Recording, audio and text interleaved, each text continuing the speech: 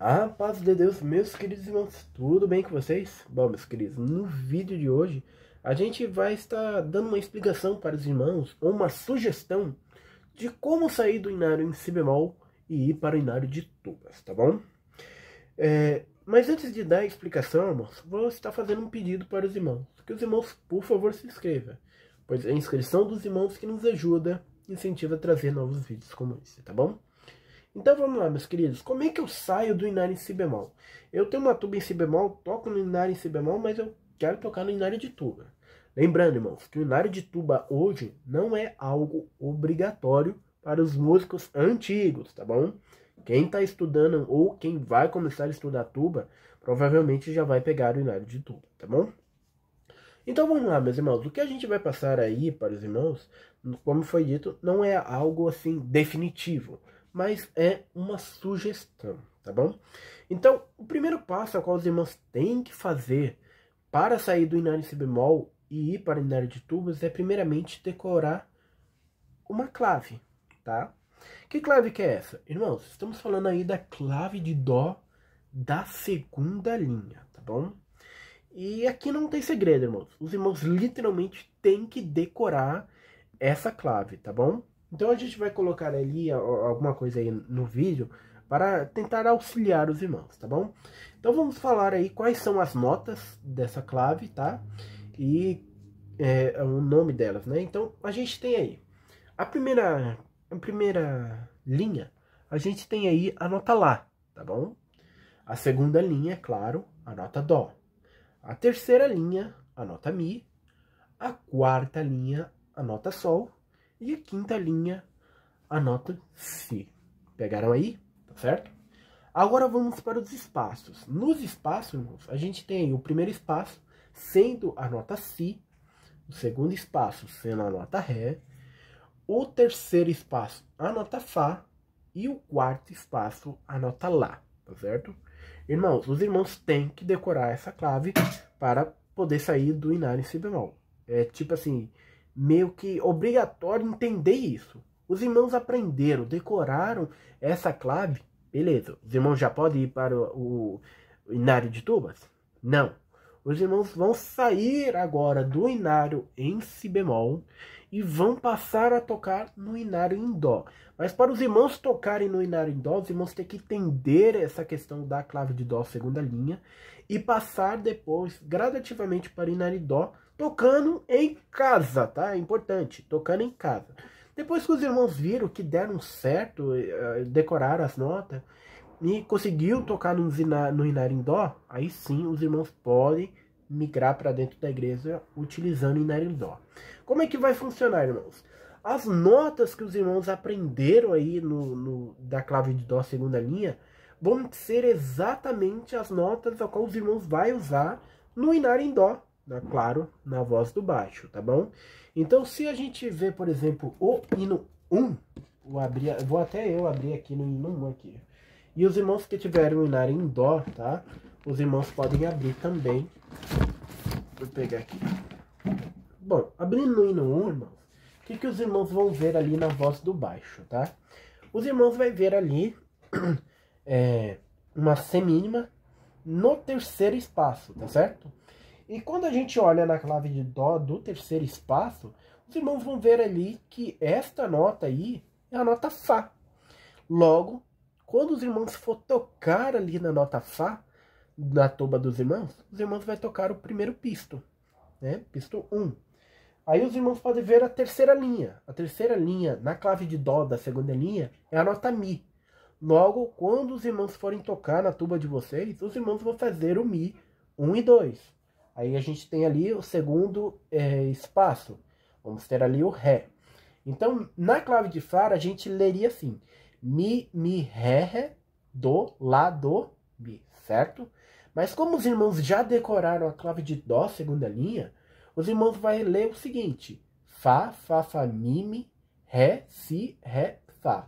E se os irmãos estão vendo esse vídeo agora e não tem noção nenhuma do, do, do, que a gente está falando, né? Os irmãos ainda não desenvolveram a clave de dó segunda linha. Se os irmãos pegarem no Inário em Si bemol agora, os irmãos vão ver que está escrito exatamente a mesma coisa. Se os irmãos abrirem no Inário em Si bemol, vai estar escrito Fá, Fá, Fá, Mi, Mi, Ré, Si, Ré, Fá. Os irmãos podem olhar aí no Inário, tá certo? Os Inário em Si bemol. Então, decorando a clave de Dó, segunda linha, e já desenvolvendo no Inário em Dó, tá? Tocando já bonitinho, os irmãos vão passar para um outro passo, tá?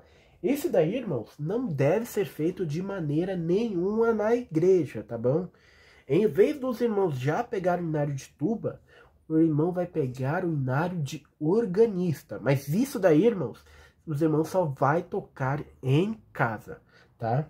Bom, meus irmãos, para quem tem o inário de órgão aí à disposição, os irmãos vão ver que no inário de órgão a gente tem é, três claves, tá? A primeira clave é a clave de Sol, tá bom? A segunda é a clave de Fá. E a terceira também é uma clave de Fá. Os irmãos vão concentrar os estudos apenas na terceira clave de Fá. Nesse inário, irmãos, a gente vai ter ali o que seria a voz do contrabaixo, tá? E se os irmãos pararem para analisar, o som que a organista faz no pé, né, na pedaleira, exatamente o som da tuba, né? Exatamente as mesmas notas, tá? Então, assim, os irmãos já tocaram no Inar em Dó, já acostumaram ali com, com, as notas graves que aparecem ali no Inar em Dó, né? Você sabe onde é Fá, onde é o Mi, bababá, Os irmãos vai começar a leitura dessa clave de Fá, né? A segunda clave de Fá do Inário de órgãos, tá? E essa leitura, irmãos, vai ser basicamente a mesma leitura que a gente vai fazer no Inário de Tubas. Só que essa leitura, irmãos, ela é mais simplificada porque ela funciona dentro de uma oitava só, tá? A gente até gravou um vídeo da pedaleira e o tuba tocando o hino 215 para os irmãos terem uma noção. Os irmãos vai tocar exatamente na altura que os irmãos faziam no Inar em Dó. Não vai tocar na tessitura do grave, tá bom?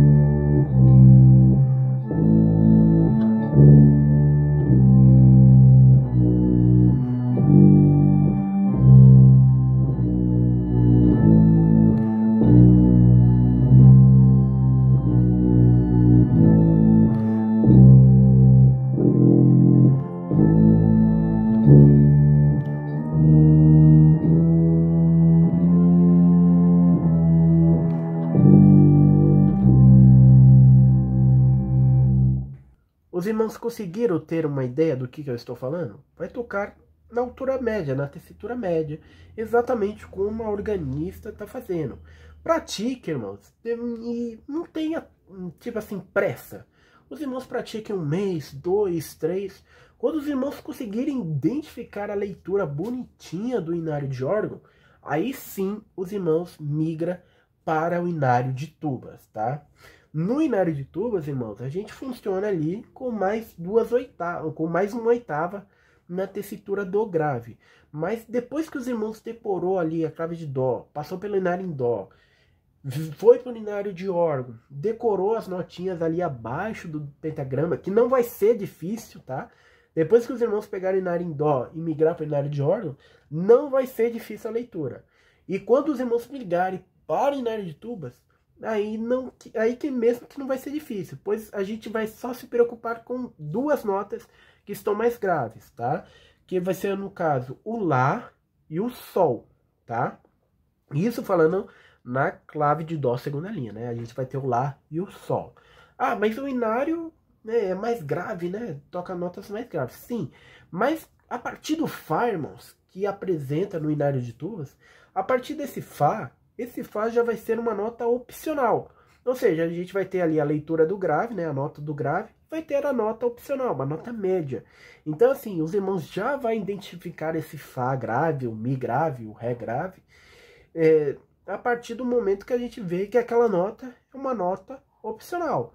Então, os irmãos vão ver a nota de cima, a nota de baixo, e os irmãos vão escolher qual vai tocar, se vai ser a nota de cima ou vai ser a nota de baixo. Então, assim, irmãos, é um processo lento, tá?